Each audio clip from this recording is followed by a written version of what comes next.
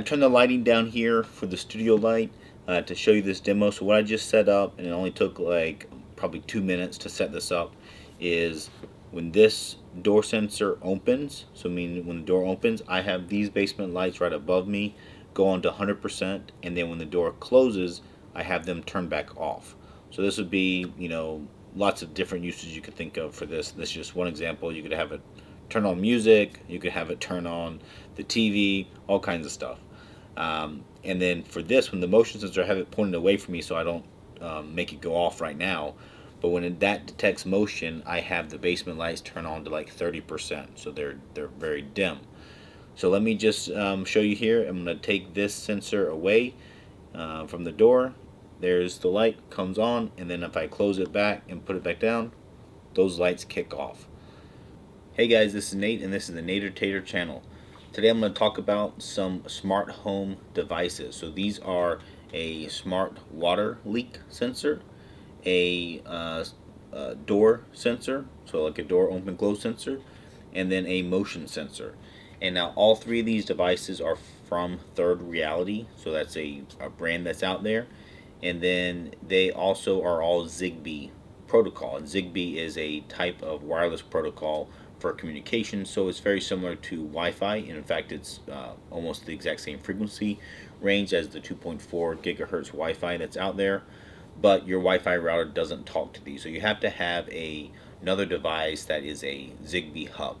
And so in my case, I have a SmartThings hub uh, that's now been taken over. I think uh, Aeotec uh, manufactures those hubs for SmartThings, but um, there are lots of other ones out there. In fact, some uh, uh, Amazon Echo um, devices actually have a built-in um, Zigbee hub that you can use. Also, Third Reality sells uh, a hub themselves, and I think it's like 30 bucks or something. It's uh, fairly reasonable, really. But anyways, that's how they communicate uh, to a hub, and then that hub you'll have integrated to your smart home. And it can be as complex or as simple as you want. Mine's a little bit more on the complex side, but it could be as simple as you just have uh, a few of these water leak sen uh, sensors and it sends you a push notification or you can have it text you when it detects a leak. Uh, so let me go through each of these for the sake of time. I went ahead and unboxed them. And so this is what you get in the box for the water leak sensor. This is the sensor itself. And then it has a little miniature screwdriver as well as uh, batteries included with this. These are um, AAA batteries that will pop out of here and we will install. And then the other thing that it has is a little add-on kit. Uh, it's included and this takes the sensitivity of the water detection from low to high. And so what this is doing is, um, I'll, I'll show you, I'll take it apart and show you, but the contacts on here that is looking for a connection, uh, this is going to make it more sensitive. So even if you have like a small drip, it will be more sensitive to detect that and it won't need like the whole area to flood with uh, with water. So we'll go through that one in a little bit and then this one here is the door sensor. So this is um, the stationary side that you would typically put like on the wall or whatnot and then this other side is the one that houses the magnet and they have these little lines that go together and you know the way these work is when the magnet gets close it um, you know says the door is closed and then as the magnet goes away it says the door is open. And so you know the, the reason why you might want this door open close sensor is obviously for like an alarm feature but also with a smart home you can have it uh, do actions or routines or scenes based off what it does. So you can say hey you know when I open that door and it's past sunset uh, for example I want you to turn on this light right? And so you can do some automation activities like that with, with this. And then next we have the motion sensor. I guess I forgot to mention this one has batteries in there as well. Um, so here is the motion sensor, and again it comes with a little pack of uh, AAA batteries. And then you can see it has a little PIR sensor here. This is very small and compact. It does come with uh, double-sided sticky tape as well as um, this um, uh, open close sensor does as well for installing it. So this is really nice and small. You know, this can go um, lots of places. You can stick it on a wall. You can stick it um, on a cabinet or whatnot. and again, same thing here. This could be used for uh, alarm system, for security. It could be used for um, just detecting motion and having like a hallway light come on. Again, like at night. And in fact, I use um, for my home, it was hardwired with a alarm system. And I use Konnected, which takes those hardwired sensors and ties it back into my smart home. But um, you know I only have a couple motion sensors uh, due to that. But I have one of them at night. When it detects motion uh, it turns on uh, several key lights at a very dim setting um, which is really handy for when the little baby wakes up we have uh, some very dim lighting but we don't have to touch any um, uh, light switches to make that happen. So this could do the same type of thing where I could have this somewhere where there isn't a motion sensor because it's so easy um, to place somewhere with the battery and then you can have it do some stuff. So let's take these and let me um, let me do a little bit of the assembly that's required here but then we'll open up the app for me SmartThings app and I'll show you uh, how they they kind of work and then maybe I'll do a couple little demos here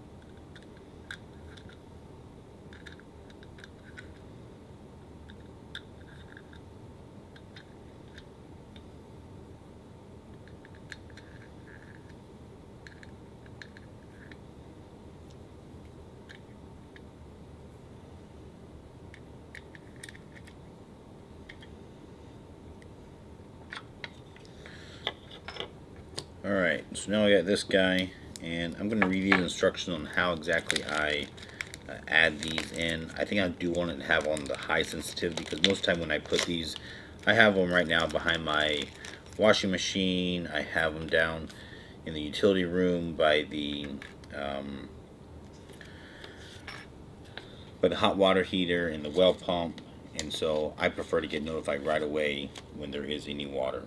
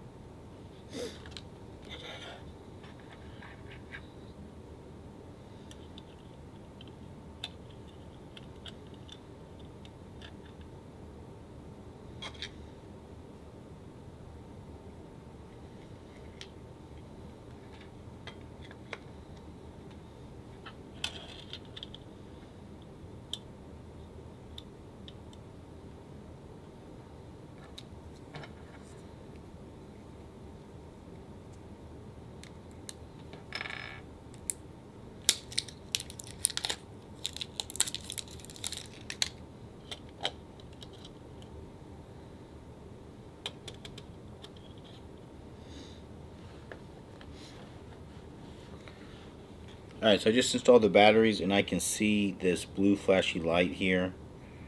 Um, I guess it's on the bottom there. You can see it's flashing blue. So let me go ahead and go in here before I put it back together. I'm just going to go to my SmartThings app and uh, tell it to look for a new device here. Alright, so I'm just down here in the basement and I will go ahead and add device here and then for me for SmartThings I can do it um, go in here and search.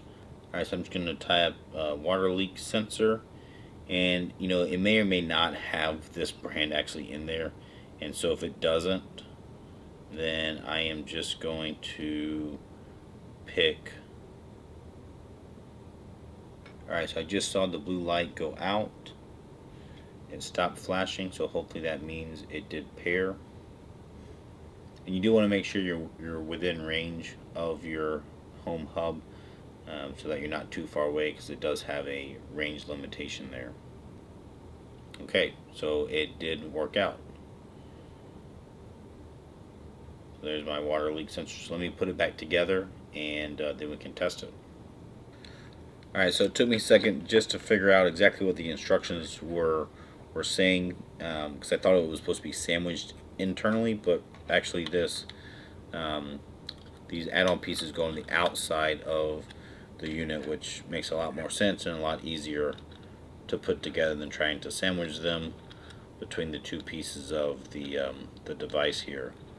So for this, you know, the way these sensors work is most of them by default have three uh, contacts, and when those contacts, when any two of the contacts um, get continuity, which water would, would create that when water touches, the same piece of water touches both uh, two contacts, then it would go off. So in this case, what they're doing is just adding a, um, a bigger uh, area that can touch water and uh, get in contact with it. So this here is the contacts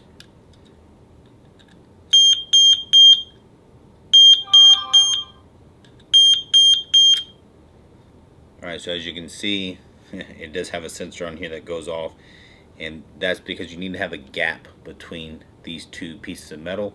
When these two pieces of metal touch each other or water goes between them, then it goes off. So now this one has a very small gap there between those two pieces and if water were to have a drop right there, that would make the sensor go off. You heard the beep there.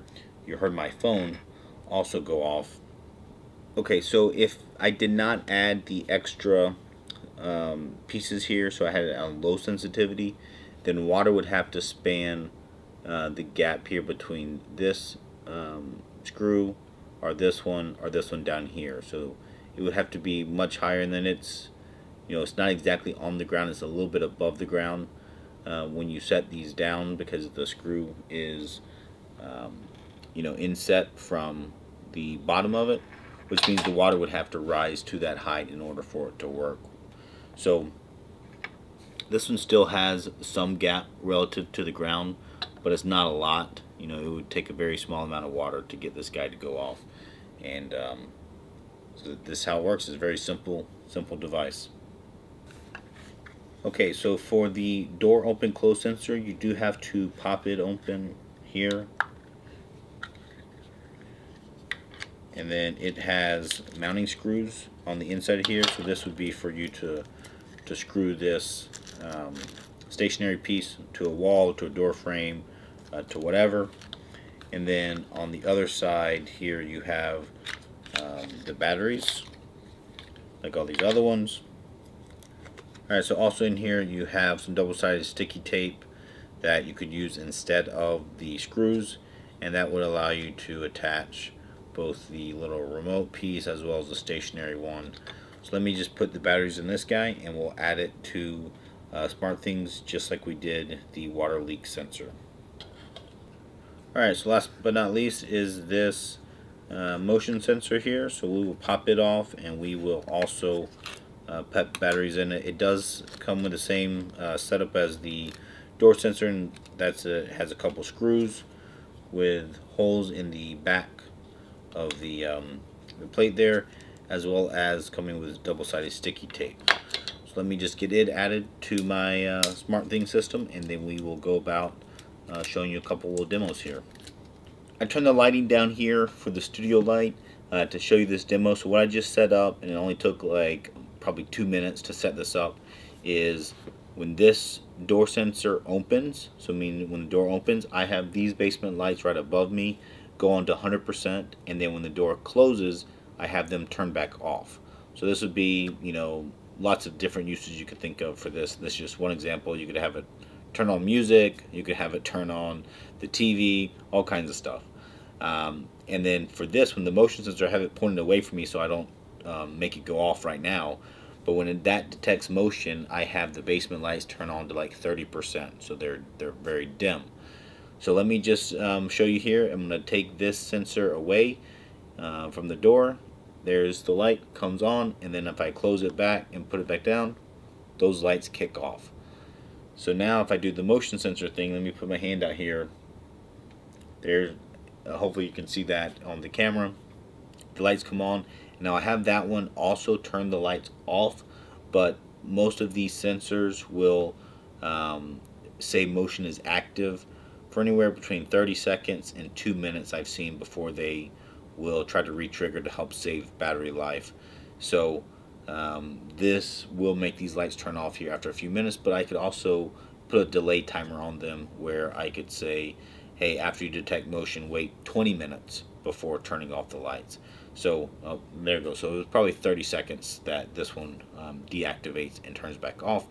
And then here with the water sensor, I have it just send me a text message. Um, if I wanted to, I could also have it uh, sound an alarm or send me a text or something else as well. So pretty cool devices. Um, nice and simple. I'll put product links down in the video description below. Uh, they are affiliate links so if you click them uh, I might get a small commission but at no cost to you. And you know these guys are about $20 a piece. Uh, from what I've, I've seen is kind of where they trend like I said they have a hub um, and they have some other products as well that they sell. So um, they seem to work well and they're easy to set up. So um, hope you enjoyed it